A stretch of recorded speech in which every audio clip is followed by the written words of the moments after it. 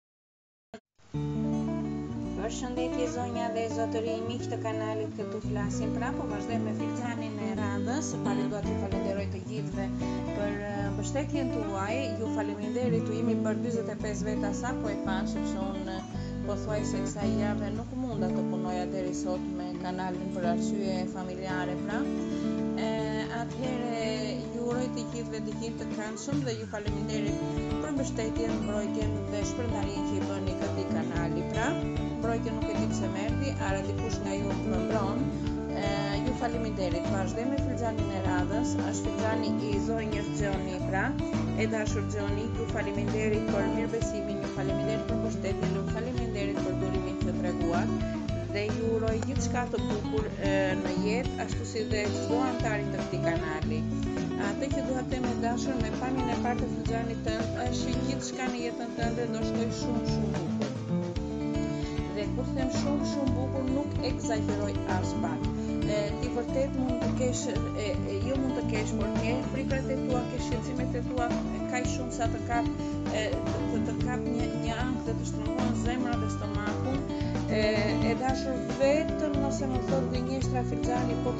Për të gjestra unë, ti tashmë e, mbasi 20 gushtit fillon gjithçka të bukur, gjithçka nga e para, e, bashkë me dy personat e tjerë të cilët ti tërheq me veten tënde, e, sinqerisht, sinqerisht, sinqerisht, do kalojnë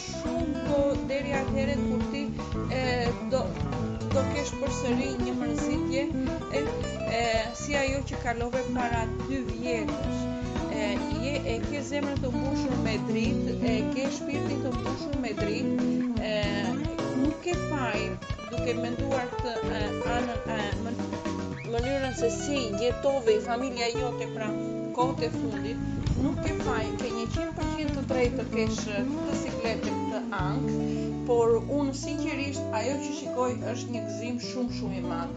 Sidomos tremujorshin e parë, gjithçka do të jetë shumë shumë shumë e bukur. E nuk është e lehtë të bësh të ndrosh ambient, pra të bësh shpërnguljen, quhet shqip, ua, e kujtova fjalën shqip. Shpërngulje pra quhet, nuk është e lehtë, por sinqerisht gjithçka do të shkojë bukur. Për sa i përket anës familjare, e, gjatë një muaj nga sot pra do kesh një cik e, turbullira, e, do kesh një cik ankth, por do ketë dhe shumë shumë dashuri brenda. E, është normale turbullira dhe ankthi nga momenti që ne të dyja jemi kemi folur pra dhe në dhe në email dhe, dhe njofim pak a shumë gjendjen pra është normale që të ketë që të jetë kështu por sinqerisht shkon shumë bukur dhe hapen edhe punët e dashur nuk them në shtator në shtator nuk them do punosh në shtator edhe edhe 10 ditën e parë të tetorit pak a shumë Po nga aty e mbrapa ti del shumë mirë si nga ana shoqërore por edhe nga ana nga ana nga ana ekonomike. E ti më the që bashkëshorti yt ishte pa punë, pra e la punën, ai e la punën për të mbrojtur familjen e tij sepse tek puna ku ishte e, një grua në moshë mesatare pak a shumë kishte kohë që e bezdiste dhe ai e duronte për hatër të familjes. E madje kjo grua dhe mund të ketë thënë që do ta ndihmonte në lidhje me një rrugë Nuk jam e sigurt për këtë. Dinte për rrugën, por nuk jam e sigurt a është kjo që do e ndihmonte apo jo. E, e dashur, ai e bëri gjithçka për ty, e, do gjejë punë shumë shpejt, nuk mbeteni pa punë, për ty dhe për familje, sigurisht. E, dhe ai ka ankth, dhe ai ka, ka, ka pak stres, por çdo gjë është gjë është e sinqertë pra nga ana e tij, është me dashuri dhe është me dhimbje.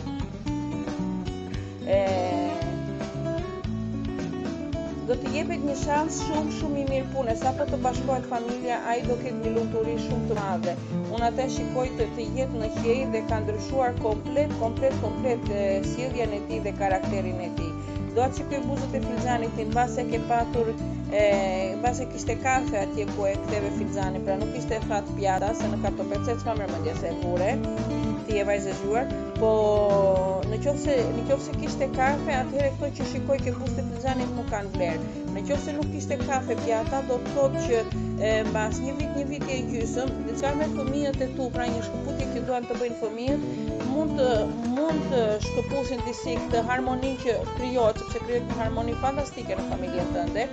Mund ta trondisim pak këtë harmoni, por pa dëme, pa dëme është provizore.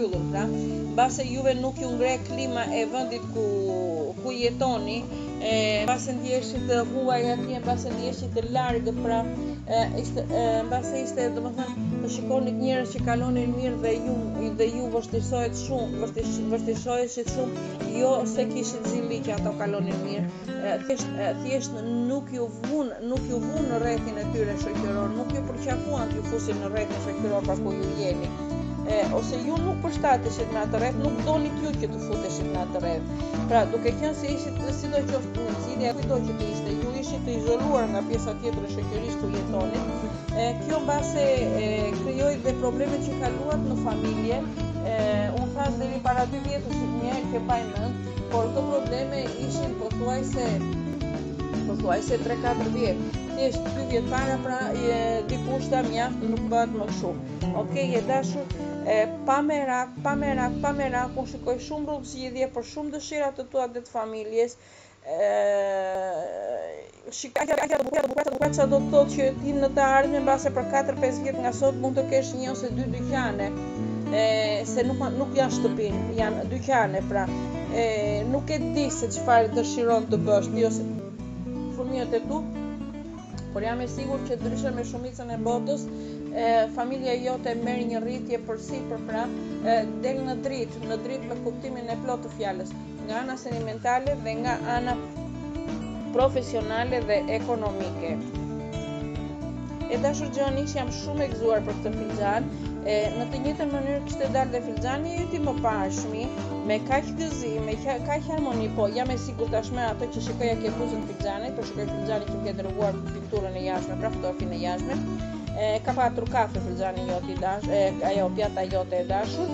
Kështu që ato që thashë për largim fëmijë, largimin e fëmijëve nga shtëpia mund të krijojnë që mund të krijojë disa situata të pakënaqshme, nuk nuk është e vërtetë. Pra, është kafja që kishte patur pra pjata. Okej. Okay?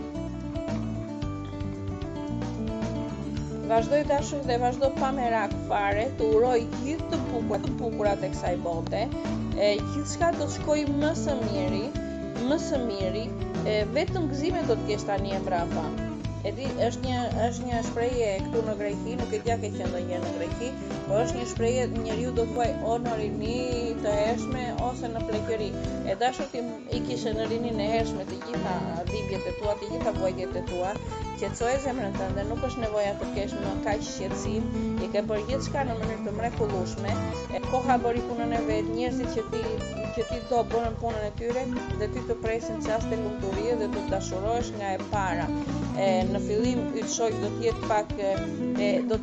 do do kesh një do ke do kesh do ketë një pengesë ndërmjet teje dhe tët shoqi e kjo është frika jote pra e kujtimeve të të kaluara por në një diskutim që bëni ju do zgjidhni gjithçka dhe do shikosh se sa shumë ai vërtet të donte dhe të respekton por ishin gjendja e tillë pra ishte ambienti i tillë nuk e di se çfarë Tashmë keni çdo të drejtë të jetoni të lumtur. Ok, e dashur, unë u gëzova shumë, shumë, shumë që më dërgove përsëri filxhanin tënd faleminderit për mirëkuptimin.